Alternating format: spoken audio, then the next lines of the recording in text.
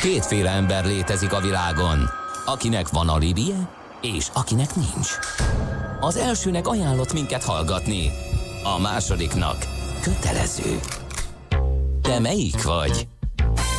Millás reggeli, a 90.9 Jazzy Rádió gazdasági mapetsója. Ez nem animi, ez tény. 8 óra 11 perc van, folytatjuk a Millás reggelit optimista péntekünkön itt a 90.9 Jazzy Rádió, velem szemben Ács Gábor ül. Velem szemben Mihálovics András. Egy költői kérdés a 0630 20 10 909-es SMS, WhatsApp és Viber számra érkezett, friss és meleg, azért ezt nem mondanám rá, mert a 3-8-kor, de most tűnt fel, és szerintem nagyon ide illik. A zene szövegarány megállapításakor Leonard Cohen-t hova számolják?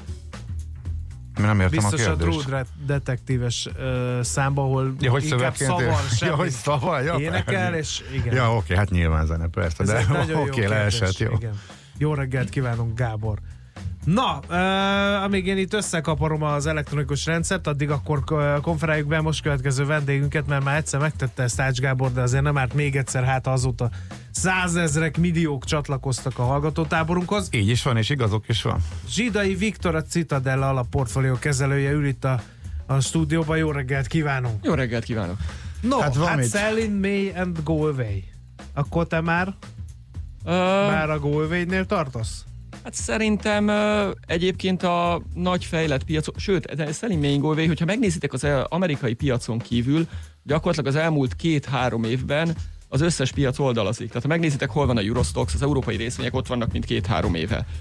Egyébként ott vannak, mint 15 éve is. Tehát sehova nem mentek az elmúlt 15 éve. Megnézitek a kínai részvényeket, lejjebb vannak, mint két-három éve. Megnézitek Ázsiát, lejjebb van, mint két-három éve. Egyedül Amerika van a két évvel ezelőtti állapotnál egy 20%-kal feljebb. Összességében már az elmúlt két évben is a globális részvénypiacok nem nagyon mentek sehova. Tehát ez a selling and go helyett inkább azt mondanám, hogy szerintem egy oldalra rángatózás van, és lesz is még hosszú ideig. Persze nagy amplitúdóval fölmegy 10%-ot, leesik 20-at, fölmegy 20-at, leesik 10-et. Én azt gondolom, hogy egy ilyen időszakban vagyunk. Akkor jön a recesszió? Lassacskán? Ez az oldalazás annak az előszele? Csak azért kérdezem, mert hogy erről is Olyat nagyon nem sokan szoktunk beszélnek. látni, a recesszió előtt nem Igen. oldalazás szokott lenni mondjuk. Ö, szerintem egy komoly lassulás van a világgazdaságban, ö, ami nem lesz, tehát szerintem nem olyan helyzet előtt vagyunk, mint 2007-8, hogy egy ilyen hirtelen halál összeomlás, mindenki bepánikol. Egy ilyen gyenge növekedés lesz jó pár negyedéven át szerintem itt a, a kereskedelmi háború kapcsán, és azt akarom mondani, hogy még hogyha nem is vezetik be végül a vámokat, vagy visszavonják, vagy, vagy kevesebb lesz, akkor is ugye már olyan károk vannak, hogy mindenki fölfogta azt, hogy hoppá, itt bármikor újból előjöhet az, hogy mondjuk nem olyan jó, hogyha Kínából szállítatom be a kütyüket. Lehet, hogy jobb lenne, hogyha USA-ba gyártatnék. Tehát, hogy a határokon túli tőke mozgásokat már most jelentősen visszafogta, a beruházásokat már visszafogta, és vissza is fogja fogni a következő egy-két évben, ami most történt. Tehát azt gondolom, hogy emiatt egy lassú növekedés lesz a világgazdaságban. Lesznek olyan egy-két negyed év valószínűleg, amikor egy-két gazdaság becsúszik mínuszba. Ilyen szenvedés, ilyen ez, mocsár. mocsár. De, de az nem nagyon jó hangulat, de ez a ciklus természetes velejárója, vagy ez most a kereskedelmi háborúk Vagy ez valami így? különleges, vagy ez valami más, mert hogy elég unortodox módszerekkel lett a válság kezelve, onnan kiemelkedve. Ilyen görbét még nem láttunk, ahova, ami- ahova most elkezdtünk belecsúszni, nem? Hát nem teljesen ilyet, de azért a 80-as évek végének a fellendülése után 90-ben volt ott az öbölháború kapcsán egy gyors recesszió a világban, tényleg nagyon rövid volt, beestek egy 10-15%-ot a tőzsdék, és utána az volt, hogy nem indult el a ö, talpraállás. Tehát volt egy fellendülésszerűség, de olyan, az is ilyen mocsár jellegű volt, egy ilyen szenvedéses. Tehát, hogy vannak olyan példák, amikor ö, amikor a, a növekedés úgy leáll, de nem omlik össze, de nem is nagyon megy föl. Én azt gondolom, hogy egy pár negyed évig ez el tud tartani, és utána valószínűleg a döntéshozók majd, ha ez nem indul be komolyabban, akkor elkezdenek rá stimulálni, mert már megszokták, hogy az működik. Na most Lehet. erről beszéltünk ugye a műsorban, hogy ugye a Fednek, mert hogy voltak kamatemelések, van mozgástere, de mondjuk az Európai Központi Banknak mintha nem lenne, mert hogy uh, lent tartották a kamatokat. A Magyar Nemzeti Banknak is, szenvednek. mint a kevés. Az meg egy külön történet a magyar, Igen. igen. Szóval mekkora a Na de nem csak a jegybankok vannak a világon, tehát uh-huh. azért most már a, szerintem eléggé elszoktunk a, a rendes fiskális stimulustól, bár ugye USA-ban pont meg arra nincs mozgástér, mert arra ott Trump lőtte el a, a puskaport. Európában meg azért nem tudnak fiskálisan stimulálni, mert mire egyességre jutnak, az három évig eltelik a 15 bizottságban. de igazándiból nagyon-nagyon komoly tere van a, a stimulusnak, hogyha megnézitek az összes demokrata jelöltnek, mik a, a USA-ban például, uh-huh. mik a, most néztem pont Elizabeth Warrennek a, a legújabb manifestóját, gyakorlatilag mindenki ezt a zöld New Deal jellegű állami infrastruktúrális beruházás, költekezés. Tehát, hogy van arra tere bármikor egy államnak, hogy jelentősen költekezzen, adókat csökkentsen, és pláne annak kapcsán, hogy biztos itt is volt a műsorban szó róla, ez a modern monetáris elmélet most nagyon ö, népszerűvé válik. Gyakorlatilag nem ezt mondja ki, de a politikusok azt vették le belőle, hogy nyugodtan lehet költségvetési deficitet csinálni, mert majd az megoldódik, majd a jegybank nyomtat pénzt, vagy valami lesz. Tehát, hogy lehet nagy költségvetési deficittel stimulálni a gazdaságot, és szerintem erre lesz példa a következő években. Nem veszélyes ez? De veszélyes. Mert a régebbi tankönyvek szerint meg azt mondják, hogy ha lehet nagy deficitet csinálni, abból azt előbb-utóbb valakinek vissza kell fizetni. Ha meg, meg hogyha ha nagyon nagy, mert mondott, hogy akkor majd nyomtat pénzt a jegybank, oké, de az meg ugye infláció. Persze. Ez a tankönyvi hát, szabályok szerint. Igen, igen, hát valószínűleg nyilván egy idő után az lesz a vége, de miután nagyon sokáig csökkent és alacsonyan volt az infláció, most ezt már senki nem nagyon hiszi el, úgyhogy egy ideig ezzel szerintem lehet a, a gazdaságot turbózni. Uh-huh. Van nyilván hatása, mindennek van hatása, az a kérdés, hogy mi a, mi a cél. Azért ott a 80-as évektől volt itt egy, egy ortodoxia, vagy egy ilyen világkép, ez a, ez a deregulációs, liberális, alacsonyadós világkép. Ez a előtte levő időszakban azért a második világháború után nem ez volt. Magas adók voltak, nem volt annyira nemzetközi tőkemozgás, sokkal kisebb vagyoni egyenlőtlenségek voltak a társadalmakban, tehát nyugodtan vissza tudunk térni egy ilyen nagy állam, magasabb adók, állam jobban beleszól a, a gazdaságba, és én azt gondolom, hogy ebbe az irányba megy a, a világnak a politikája. Uh-huh, tehát akkor ebből az következik, hogy itt még jó pár évig ebből a mocsárhelyzetből ezzel kicsit tudnak kievickélni, nem látszik semmilyen egy komolyabb visszaesésnek, komolyabb recessziónak nincsenek ezek szerint válságjelek. De akkor miért riogatnak a... vele? Hát azért, mert hogyha, hogyha belegondoltok, hogyha mondjuk a, a gazdaság csak nő mondjuk fél százalékkal, vagy egy százalékkal, akkor általában, tehát hogyha megnézitek, hogy milyen összefüggés van a profitok és a gazdasági növekedés között, akkor az van, hogy ha már alacsony a gazdasági növekedés, akkor a profitok általában csökkenni szoktak. Tehát nem kell ahhoz a, a gazdaságnak recesszióba mennie, hogy a profitok csökkenjenek. Pláne magasan vannak ciklikusan a profitráták USA-ban is nőnek a munkabérek is, tehát hogy simán, hogyha egy, egy-két évig egy lassú növekedés van a világban, az azt jelentheti, hogy a profitok csökkennek, és hát azért a tőzsdéknek mi viszi leginkább az árfolyamát, mi a fő vezetője, az, hogy merre megy a profitabilitás. Tehát, hogyha a profitok lefele csorognak, mert mondjuk évente csak 2%-kal nő a cég árbevétele, de 3-4%-kal kell növelni a munkabéreket, akkor nyilván kevesebb lesz a profitja, kevesebb a profitja, akkor kevesebbet ér a részvénye. Plusz ez a nagy állam, amiről beszélünk, nagyobb adózás, ugye, az is abban az irányba mutathat, hogy a cégeknek, hát ez egy nagyon egyszerű osztozkodás, mennyit hagyunk, most uh, visszamegyünk a 70-es évekbe gyerekkorunkban, mennyit hagyunk a kapitalistáknál, és mennyit hagyunk a munkásoknál de kevesebbet hagyunk a kapitalistáknál, több jut a munkásoknak, hát akkor a kapitalisták nem örülnek, és kifejezik ezt azzal, hogy a részvények ára csökken. Ugye Amerikában azt mondtad, hogy Trump előtte a puskaport, az, hogy Igen. az amerikai részvények túl teljesítettek az elmúlt két évben, az nagy részt annak volt köszönhető, hogy ott azért egy adócsökkentés végignyomott ő. Ez egy, ez egy nagyon komoly csökkentés volt, igen. Uh-huh. És, eh, de akkor utána ebből most mi sülhet ki, vagy mi lehet? Akkor ez ott érdekes, hogy ott most kisebb a játéktér eh, e tekintetben Amerikával. Ugye teoretikusan kisebb, eh, ez elszántság kérdése, tehát most 5%-os költségvetési deficitről is föl lehet menni 10-re. Tehát uh-huh. lehet még tovább stimulálni. Én azt gondolom egyébként, hogy nem fognak, hanem először majd a jegybank ö, próbál valószínűleg, ha baj lesz, ha, ha komoly lassulás lesz. De mondom, én, én azért nagyon kíváncsi vagyok a 2020-as amerikai választási eredményekre, és arra is, hogy amennyiben a demokraták nyernek, amire azért van jó esély, mert nyilván senki nem tudja, akkor mennyire valósítják meg ezt a Amiről most ezt a nagy, mindenki. nagy mhm. beruházási infrastruktúrális De a Trump is ezzel kampányolt. Mindenki, most már mindenkinek kell stimulálni akkor, tehát hogyha az egyik oldal ezt mhm. mondja, akkor a másik is. Hát ugye azért Trumpék azt mondják, hogy ez a zöld New Deal hülyeség, hiszen de nincsen de Trump global nem forming. kezdte el azokat Igen. az infrastruktúrális beruházásokat, amit, mert, mert ugye emlékszem, hogy amikor az amerikai elnökválasztásra beszéltünk, akkor ő azt mondta, hogy el, el vannak avulva a, a, a közlekedési hálózat, az elektromos hálózatra nem költöttek annyit, és hogy kéne majd ezeket. Ezeket végül csinálja ő? Megmondom őszintén, részletes adatokat nem láttam, de amit a költségvetés adatokból láttam, én úgy láttam, hogy a stimulus nagy része azért inkább adócsökkentés volt, mint költekezés. Uh-huh. Hát ez, ez még lehet másmilyen. És ugye ne felejtjük el, egyébként még a demokratáknál olyan komoly javaslatok vannak, mint a minimálbéreknek a drasztikus emelése.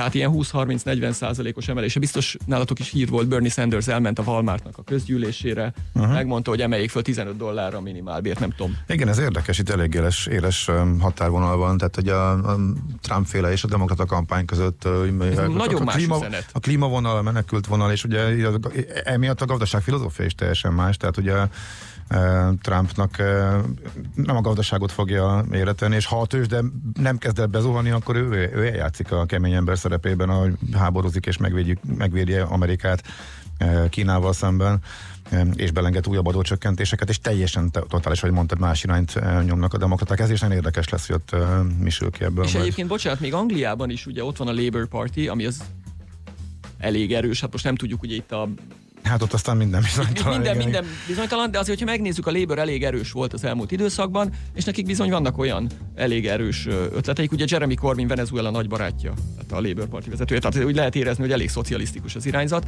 hogy mondjuk vegyék el a, a 100 fő feletti vállalatoknak a részvényeinek a 10%-át, rakják bele egy alapjabba, és ezzel a munkástanácsok szavazzanak, és ők kapják meg az osztalékot belőle.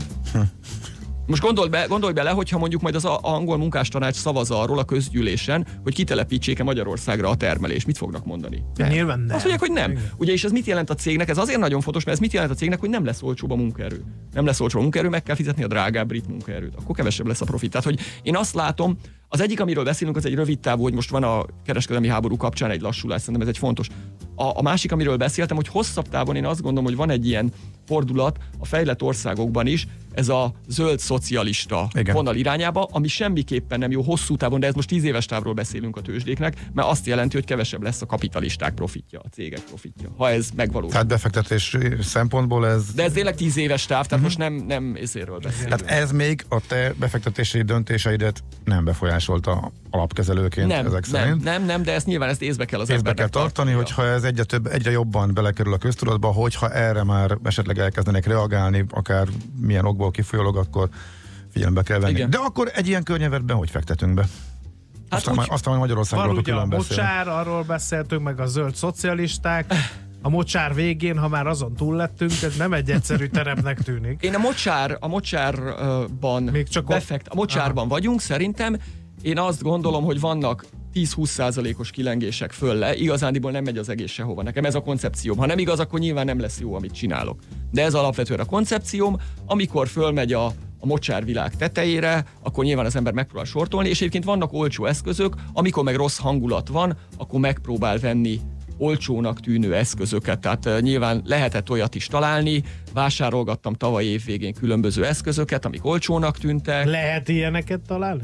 Lehet, hát Mert ami, mindenki azt mondja, hogy ugye most is te mondtad, hogy oldalazás van, egy magas szinten van oldalazás. vannak nagyon, tehát például ami számomra nagyon pozitív, és amit tavaly évvégén vettem, és nagyon sajnálom, hogy nem vettem sokkal többet, meg gigantikusan fölment az árfolyamuk már, de még azt gondolom, hogy jelentős potenciál van benne, a görög bankrészvények. Görögországban 7 évig volt recesszió, de, de nem, tehát depresszió, tehát hogy ilyen kész, tehát fölment a munkanélküliség 25-30 százalékra. A bankokba kétszer kellett tőkét emelni, a bankoknak az árfolyama esett nem tudom 99,97 század százalékot. Mert ugye kétszer tőkét kellett, mindenki mindig kihígították a szerencsétleneket. Úgy néz ki, hogy talán most már Görögországban beindult a növekedés, hét, ott is a hét szűk esztendő után. Szerintem egy kicsit hasonló a helyzet, És mint bele is, bukott, bele is bukott a Syriza. Akik, na jó, a Szirizáról ne is beszéljünk, mert ezt nem is értem azt az egész pártot, jó, tehát teljesen uh, fura, tehát gyakorlatilag ott a marxisták csinálták meg a, a mély, mély kiigazítást. Ez nagyon vicces. igen. És most jönnek a, jönnek a polgári pártok. Szóval ezt nem értem teljes mértékben, nagyon fura, amit csináltak, mert ha már megválasztották volna őket, én legalább forradalmat csináltam volna, de ez az ő dolguk. Minden esetre úgy tűnik, hogy van fellendülés Görögországban, tehát Görögország szerintem egy érdekes dolog. Ö, Nagyon olcsó eszközök vannak, ö, 1000 euró körül vannak ingatlanok Aténban. Tehát, hogy azért nagyon emlékeztet Magyarország, az öt évvel ezelőtti Magyarország helyzetére, amikor mindenki nagyon pessimista, szörnyű a helyzet, sokáig tartott a recesszió, ez az egyik.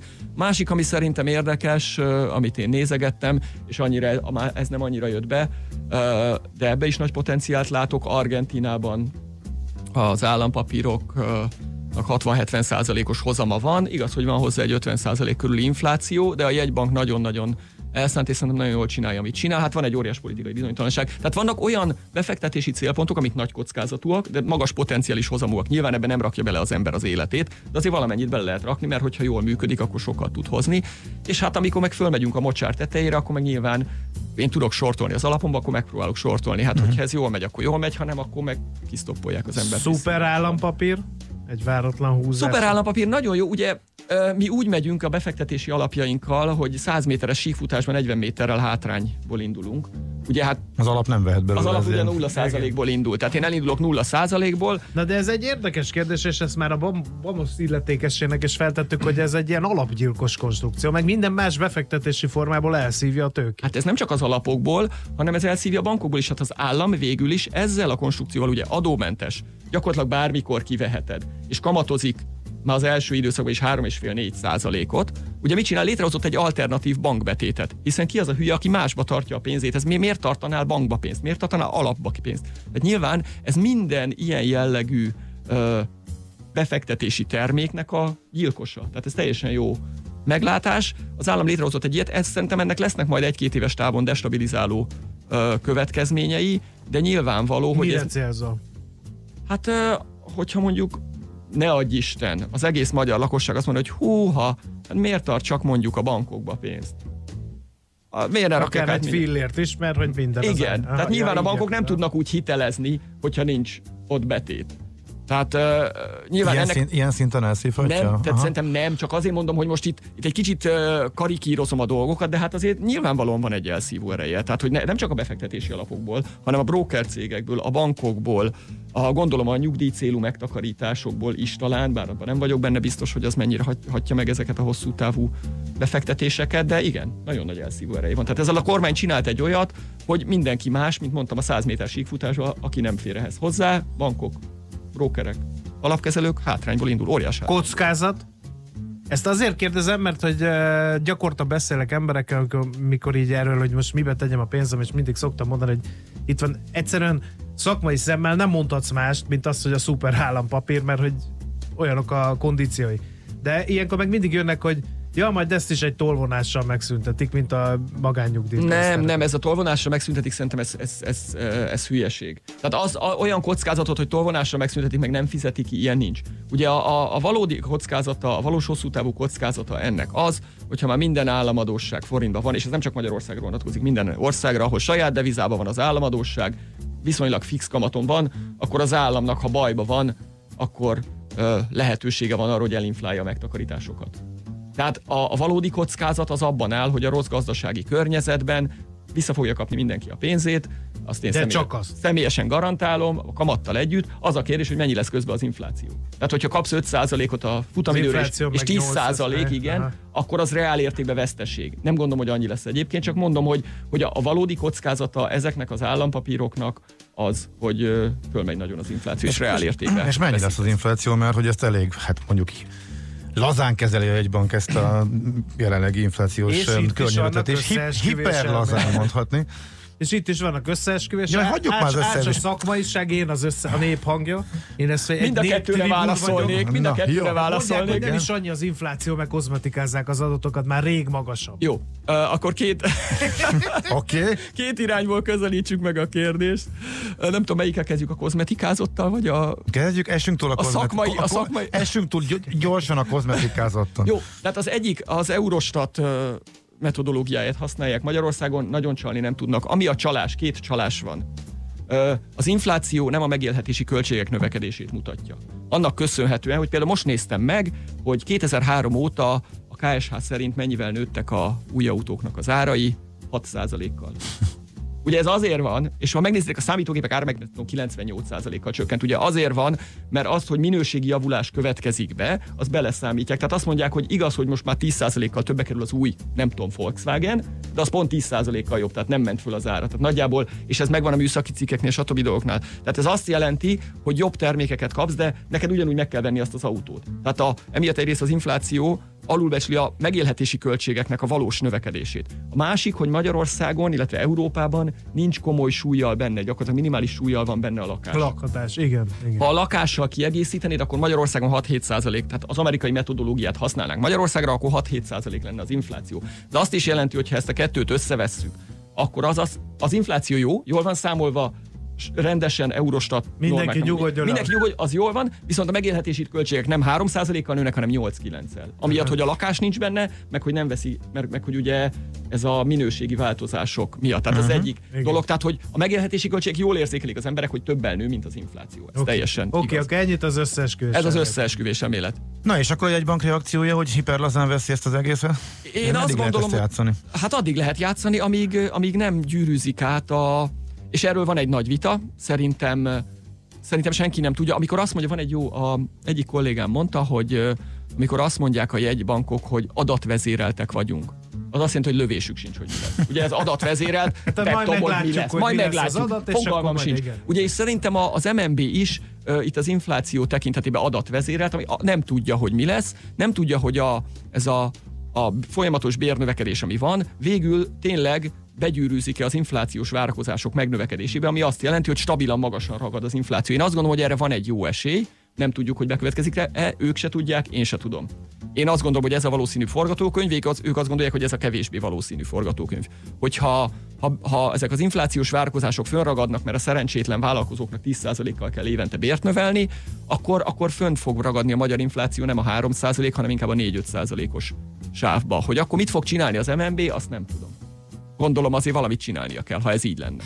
Hm, Hát én már ebben sem vagyok teljesen biztos, mert elég sokszor gondolta azt a piacnak a nagyobbik része, hogy itt már valamit csinálnia kéne, és lényegében nem csináltak semmit, vagy minimális változásokat. Hát akkor kell csinálniuk valamit, hogyha a forint elkezd gyengülni miatt. Ugye, mert ez egy, egy olyan kör tud előállítani, hogy, hogy magas az infláció, megijednek az emberek, elkezd gyengülni a forint, uh-huh. a gyengülő forinttól elkezdődik a tőkemenekítés, amitől tovább gyengül a forint. Tehát nyilván De nekik hát- a forintot Aha, kell nem- nem leginkább. tart. Én messze ezt nem értem, de, de nem aggódnak a forintgyengülés miatt se, így látszólag. Hát a Nem kicsi- most a csúszó kicsitől nem. leértékelés van. Kicsitől nem. Évente 2-3 százalékot, ha gyengül, az a legjobb. Ha tized gyengül egy hónap alatt, az nagyon rossz. Tehát, hogy, hogy mint a legtöbb jegybank mindig azt mondja, hogy a hirtelen nagy mozgások, ami egyirányú és nagy, azt nem szeretik. Uh-huh. És nyilván logikus, mert azt tudja kiváltani a pánikot. Tehát amikor így csúszik le, az nem baj neki. Arra mennyi esélyt látsz, hogy ha ez így marad, és a jegybank nem lép semmit, hogy a spekuláció indul a forint ellen? Ha elindul föl az infláció, és a jegybank nem lép semmit, akkor biztos vagyok benne, hogy spekuláció indul el a forint ellen. Tehát, hogyha ha, ha, tehát két feltétel van, ugye, hogy fölmegy az infláció és fönragad, és nem azok a várakozások jönnek be, ami most mondjuk a elemzői előrejelzésekben vannak, hogy szépen visszacsúszik az infláció 3% környékére, és minden rendben van, hanem fönragad 4, 4,5, 5 ilyesmi számok környékén, és erre nem reagál a jegybank, ez a két feltétel, akkor biztos, uh-huh. hogy a forint van, nagyon komoly eladói nyomás lesz. Uh-huh. De hát ez még hm, Ez- hó, ez messze van. hónapok, bőven, sőt. Aha. Jó, akkor most hú, szusszanjunk egyet. Várunk még kérdéseket, nekünk is van még bőven, de most zenélünk és hírek következik. Zsidai Viktor a vendégünk, és vele folytatjuk a beszélgetést néhány perc múlva. Aranyköpés a millás reggeliben. Mindenre van egy idézetünk. Ez megspórolja az eredeti gondolatokat. De nem mind arany, ami fényli. Lehet kedvező körülmények közt gyémánt is. Na ugye milyen optimistát választottam Igen. neked optimista péntekre? Végre. Tudsz, te akarsz, csak nem mindig akarsz. Paranya, igazi füleses. 71 éves Gárdos Péter alap volt, hogy tőle választunk uh, aranyköpés már, amely így hangzik, vigyázni kell az írtózattal, könnyen átcsaphat gyűlöletbe, majd rögtön utána jön az agresszió, később az ideológia. Ezen nincs mit hozzátenni. Bravo. Aranyköpés hangzott el a millás reggeliben. Ne feledd, tanulni ezüst, megjegyezni arany.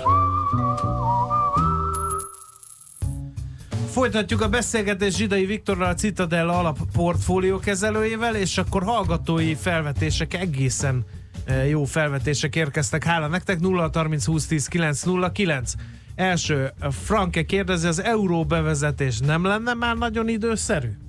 Hát én itt a szünetben ezt meg is beszéltük, én elég európárti voltam, de azt látom, hogy Európának a döntéshozatali mechanizmusa annyira tragikus, annyira lassan tud reagálni bármilyen válsághelyzetre, és annyira gúzsba köti az euró az országokat, hogy valószínűleg jobban jár egyelőre Magyarország, hogyha ebben nem lép be. Tehát én azt gondolom, hogy nagyon jó lenne az euró, de ahhoz először Európában valami intézményi reformokat kell, hogy, hogy rendes, gyors, konszenzusos döntéseket, mert itt, hogy mindent blokkolnak éveken át egy-két ország, az, az, az nem lehet. Ez nem visz jóra. Másik kérdés, inflációt lehet majd esetleg áfa csökkentéssel enyhíteni, vagy ez csak átmeneti lenne? Ez is egy jó felvetés, Lehet. mert akkor nem kell, ugye nem kell Abszolút nagyon lehet. törődni vele a jegybanknak az Igen, hát inflációval. elméletileg az adószűrt maginflációt nézi a jegybank, tehát kiszűrik az adókat, tehát elméletileg ezt nem kéne figyelembe venni, de nyilvánvalóan a fő inflációs számot ez jelentősen csökkenteni, és ennek valószínűleg lenne hatása. Tehát a válasz az, hogy igen, még ezzel lehet, Mhm.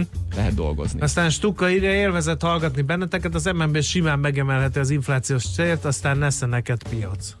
Abszolút megemelheti. A jogában áll, szerintem azért ez nem ilyen egyszerű, mert ö, Argentina, pont beszéltünk erről, Argentinában ott kezdődött az óriás probléma tavaly év végén, hogy a jegybank az inflációs célon módosított, és ezt a piac úgy vette, hogy úristen, akkor már itt minden más. Tehát, hogy a piacok nagyon érzékenyen tudnak reagálni az inflációs célnak a módosítására, és nagyon be tudnak pánikolni, mert akkor azt mondja, hogy hoppát, föltolja mondjuk 2 és 4 között van ugye most az inflációs cél, 3% plusz-minusz 1%-os föltolja, föltolja mondjuk 4% plusz-minusz 1-re, akkor azt mondja, hogy de miért ne tolnál föl legközelebb 5-re, meg 6-ra, meg 7-re, akkor ezeket nem érdekli az infláció, hát akkor ezek, ezek itt el fogják engedni a forintot, meg stb. Tehát szerintem ez egy nagyon-nagyon veszélyes út, meg lehet csinálni, szerintem nagyon nem, ne- szerintem nem fogják emiatt, mert ez nagyon veszélyes, és ezt a jegybank is tudja, hogy nem lehet csak így össze-vissza módosítani a célt.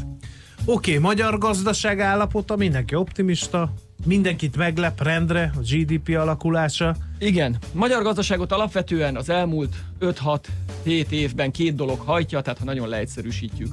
Európai Uniós pénzek, illetve a fogyasztás növekedés. A fogyasztás növekedés az amiatt van, mert nőnek a bérek. A bérek meg azért nőnek, mert nyitott az európai gazdaság, és ugye konvergálnak a magyar bérek a, a nyugati bérekhez.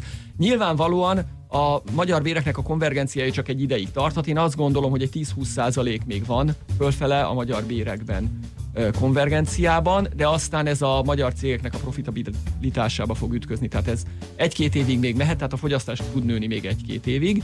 Az Európai Uniós pénzekről meg szintén tudjuk, hogy a következő egy-két évben el fognak fogyni, és a következő ciklusban elég erős az esélye, hogy jelentősen kevesebbet kapunk. Egyrészt azért, mert Kiszállnak a britek. Jól Kiszállnak a britek, nem Igen. viselkedtünk olyan jól, tehát sokan azért megorroltak ránk, plusz azért ez a kelet-európai, kelet-közép-európai régió nagyon sokat följött délhez képest. Tehát, hogy nyilván logikus követelés Bizony, a erről- déltől, hogy igen. ők kapjanak többet, és ez egy teljesen tehát, hogyha ez egy szolidaritás alapon működő dolog Európában, és azt mondjuk, hogy akinek nem ment olyan jól, az kapja a pénzt, akkor oda többet uh-huh. fognak csoportosítani. Tehát azt gondolom, hogy a magyar növekedésnek a rakétái a következő egy-két évben még lesznek, de folyamatosan el fognak fogyni, viszont a vége a ciklusnak valószínűleg nem az lesz itt sem, mint 2007-8-ban. Tehát nincs nagy egyensúlytalanság, nincs, nagy, nincs devizaadósság, nincs nagy költségvetési hiány, nincs folyófizetési mérleg hiány, tehát hogy inkább az lesz, hogy a növekedés elfogy. Tehát, hogy 5, 4, 3, 2, 1. Kockázatok, úgy, mint az autóipar, ugye egy technológiaváltás előtt toporog az ágazat, ugye eleve a, a, a húzó ágazat a, a magyar gazdaságnak, ráadásul ugye csökken a kereslet a hagyományos modellek iránt Kínában 20 pár év óta először. Van, van jelentős kockázat a magyar, magyar gazdaságban, de azt gondolom, hogy még hogyha egy jelentősebb visszaesés következne be, én azt gondolom, hogy a magyar fogyasztásnak a momentuma annyira erős, ez a bérnövekedésből adódó fogyasztás, hogy a magyar gazdaság így hirtelen recesszióban nem nagyon tud esni most. Lakásárak. Te voltál az első, hogy emlékezetes volt, amikor nagyon korán megjövendölted a hatalmas ingatlan piaci, sőt, azt, még nem tudhattad te- nyilván te sem, de az, hogy valami beindult, és az árak elindulnak fölfele, és érdemes ö, lakásba fektetni, és akár, az ö, te voltál, ez, hány éve volt ez már? Öt? Hat? Tehát tényleg a leg... 14-15. Igen. Éppen ezért kíváncsiak vagyunk, hogy most, amikor a lassulásra utaló jelek vannak, hogy most hogy látod az ingatlan piacot, lakásárakat? Az a jó az összes piacban, tehát vannak olyan időpontok, 5-10 évenként egyszer, minden piacon van 3-4-5 tényező. Ha mind egy irányba áll, az nagyon jó. Ugye mi volt 13-14 éve Magyarországon? Gigantikus pessimizmus, nem épített senki semmit, tehát kínálat nuku, elkezdődött egy gazdasági fellendülés, elkezdődött egy bérnövekedés, elkezdődött az EU-s pénzek áramlása, és elkezdődött a kamatok csökkenése, minden egy irányba mutatott. Elhalasztott vásárlások. A, elhal, tehát minden. Mind- igen. Amikor ilyen helyzet van, akkor sokkal könnyebb jósolni, mint amikor mondjuk kettő egy irányba mutat, a másik kettő meg a másik irányba mutat. Most ez van egyébként. Most azt gondolom, hogy az van, hogy az alapvetően a fő tényező, hogy nő-e a gazdaság és nőnek-e a bérek. Ez a fő vezetője a, a lakásáraknak.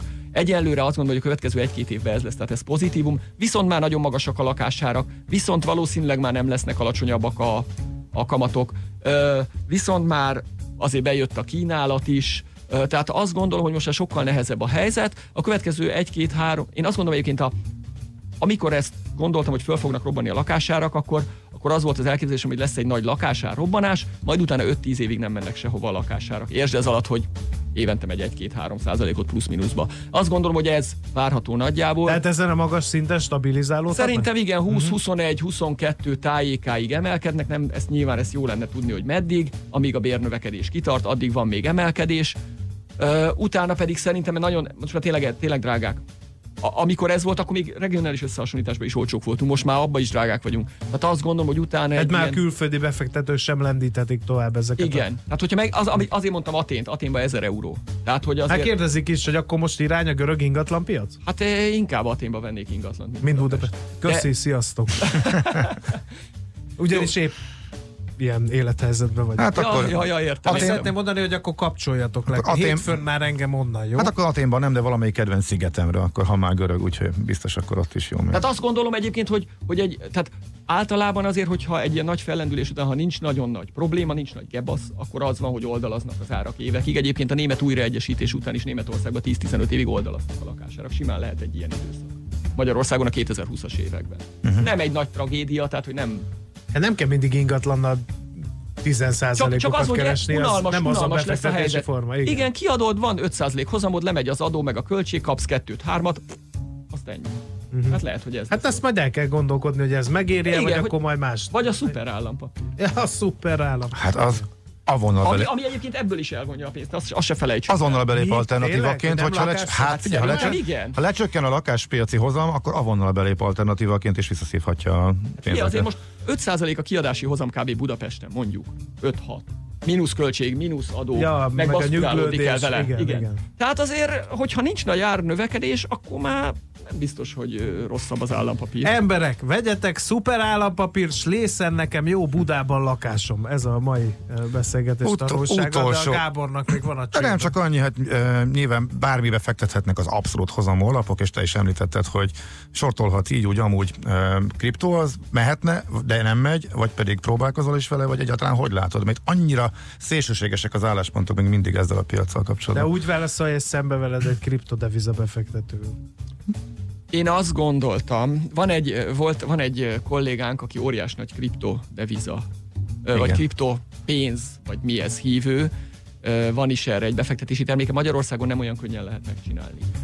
Külföldön meg lehet csinálni ilyen struktúrákban, neki van is erre befektetési terméke, óriás vitaink szoktak lenni, tehát hogy én most nyilván nem tud, ő nem tudja elmondani itt a saját álláspontját, csak én tudom elmondani. Nekem az volt a, a sztorim a bitcoinnal kapcsolatban, hogy ez egy rossz megoldás egy nem létező problémára. Ez volt az én véleményem. Ő elmondta, hogy ez teljes hülyeség, én már öreg vagyok, nem értem, nem látom, hogy itt mi történik. Ez egy új világ, és, és ez egy teljes baromság. Lehet, hogy neki van igaza, tehát tényleg lehet, hogy neki van igaza.